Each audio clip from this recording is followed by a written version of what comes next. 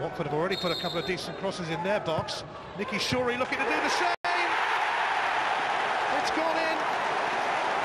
And Reading celebrate. And that is a perfect start for them. Forster making one of those runs. And it's come to Sidwell. Steve Sidwell doubles Reading's lead.